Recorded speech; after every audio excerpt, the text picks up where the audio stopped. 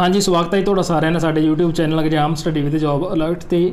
ਤਾਂ ਇਹਦੀ ਅਪਡੇਟ ਤੁਹਾਡੀ ਨਾਲ ਸ਼ੇਅਰ ਕਰਨ ਜਾ ਰਹੇ ਹਾਂ। ਆਇਲਸ ਕਰਨ ਵਾਲੀ ਅਪਡੇਟ ਆਈ ਹੈ। ਸੋ ਸ਼ਰਤਾਂ ਦੇ ਵਿੱਚ ਜਿਹੜਾ ਬਦਲਾਅ ਹੋਇਆ ਹੈ ਸਟੱਡੀ ਪਰਮਿਟ ਨੂੰ ਲੈ ਕੇ ਅਤੇ ਕਦੋਂ ਤੋਂ ਇਹ ਸ਼ਰਤਾਂ ਜਿਹੜੀਆਂ ਲਾਗੂ ਹੋਣ ਜਾ ਰਹੀਆਂ ਨੇ, ਪੂਰੀ ਜਾਣਕਾਰੀ ਤੁਹਾਡੇ ਨਾਲ ਸ਼ੇਅਰ ਕਰਾਂਗੇ।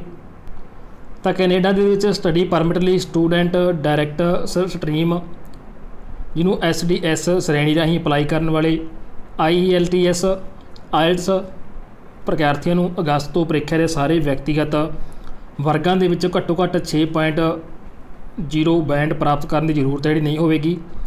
IELTS ਦੇ ਸਹਿ ਮਾਲਕ IDP ਐਜੂਕੇਸ਼ਨ ਵੱਲੋਂ ਇਹ ਜਾਣਕਾਰੀ ਹੈ ਜਿਹੜੀ ਦਿੱਤੀ ਗਈ ਹੈ।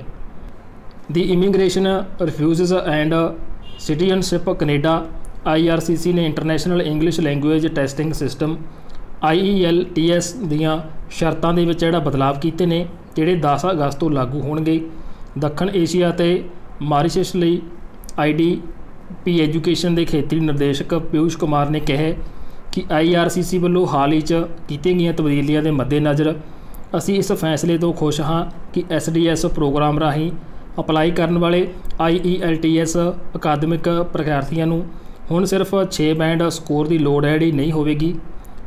ਇੱਥੇ ਲਿਖਿਆ ਜਿਹੜੇ ਨੇ ਕਿ ਸਕੋਰ ਦੀ ਲੋੜ ਹੈ ਜਿਹੜੀ ਹੋਵੇਗੀ।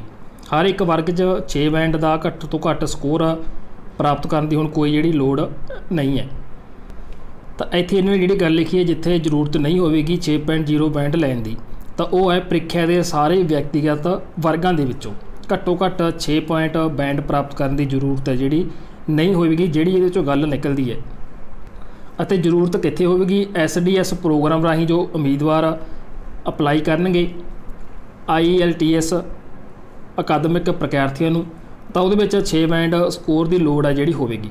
ਹਰ ਇੱਕ ਵਰਗ ਦੇ ਵਿੱਚ 6 ਬੈਂਡ ਦਾ ਘੱਟ ਤੋਂ ਘੱਟ ਸਕੋਰ ਹੈ ਜਿਹੜਾ, ਉਹ ਪ੍ਰਾਪਤ ਕਰਨ ਦੀ ਜ਼ਰੂਰਤ ਨਹੀਂ ਹੋਵੇਗੀ। ਵੈਸੇ 6 ਬੈਂਡ ਜਿਹੜੇ ਤੁਹਾਨੂੰ ਲੈਣੇ ਪੈਣਗੇ, ਜਿਹੜੇ SDS ਪ੍ਰੋਗਰਾਮ ਆਹੀ ਅਪਲਾਈ ਕਰਨਗੇ। ਤਾਂ ਇਹ ਹੁਣ ਤੱਕ ਦੀ ਜਿਹੜੀ ਅਪਡੇਟ ਆਈ ਹੈ, ਬਾਕੀ ਅੱਗੇ ਜੋ ਅਪਡੇਟਸ ਹੋਣਗੀਆਂ ਸਮੇਂ ਸਿਰ ਜਾਣਕਾਰੀ ਤੁਹਾਡੇ ਨਾਲ ਸ਼ੇਅਰ ਕਰਦੇ ਰਹਾਂਗੇ। ਚੈਨਲ ਨਾਲ ਜੁੜੇ ਰਹੋ। ਧੰਨਵਾਦ